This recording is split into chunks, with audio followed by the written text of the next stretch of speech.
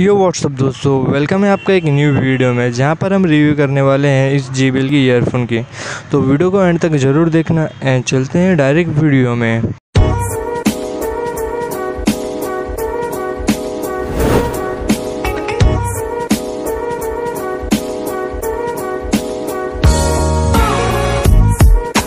कुछ वीक पहले मेरा जो रियल का ईयरफोन था रियल मी बर्ड्स टू वो एक साइड से ख़राब हो गया था। तो मैंने सोचा इस बार क्यों ना कुछ नया ट्राई कर लिया जाए।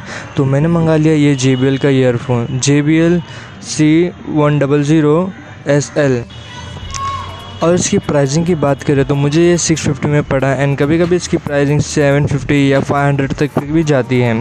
एंड अगर आपको परचेस करना है तो नीचे दिए हुए लिंक से आप परचेस कर सकते हो। बॉक्स को ओपन कर लेता हूँ जल्दी से एंड ईयरफोन की पैकेजिंग कुछ ऐसी दिखती है।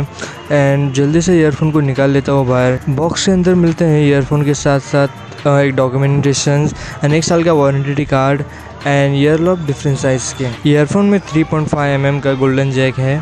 और अब बात करते हैं ईयरफोन की क्वालिटी के बारे में। ईयरफोन का साउंड क्वालिटी बहुत ही अच्छा निकल के आता है एंड किसी भी सॉन्ग का बैकग्राउंड म्यूज़िक बैग्स बहुत परफेक्टली सुनाई देता है। तो साउंड क्वालिटी की रेटिंग में मैं दूँगा साउंड को फाइव आउट ऑफ़ फोर बात करें ईयरफोन की बिल्ड क्वालिटी की तो ईयरफोन प्लास्टिक से बना है एंड ईयरफोन पे जे की ब्रांडिंग दी है, जो एक डिसअपॉइंटिंग सी बात है। अगर कंपेयर करें दूसरे ईयरफोन की कंपनी लाइक बोट की तो हमें फाइव हंड्रेड रुपीज़ में मेटल ईयरफोन देते हैं एंड विद वन ईयर की वारंटी के साथ। एंड इसकी वायर भी दोस्तों नॉर्मल टाइप की निकल के आती है क्लासिक टाइप की, कुछ यूनिकनेस नहीं है। वही बात करें बोट के ईयरफोन की तो उनकी वायर भी बड़े ही यूनिक टाइप की निकल के आती है टेंगुलर टाइप वायर एंड ये भी एक डिसअपॉइंटिंग सी बात है कि आप सिक्स फिफ्टी रुपीज़ पे कर रहे हो एंड आपको यहाँ पर नॉर्मल सी वायर देखने मिलती है।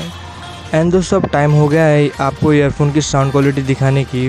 तो ये है दोस्तों ईयरफोन की sound quality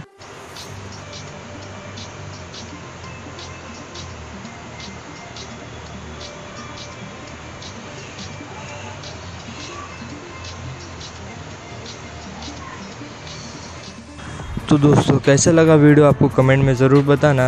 and please video को लाइक शेयर एंड चैनल को सब्सक्राइब करके बेल आइकन को भी ज़रूर प्रेस कर दीजिए। मिलते हैं नेक्स्ट वीडियो में।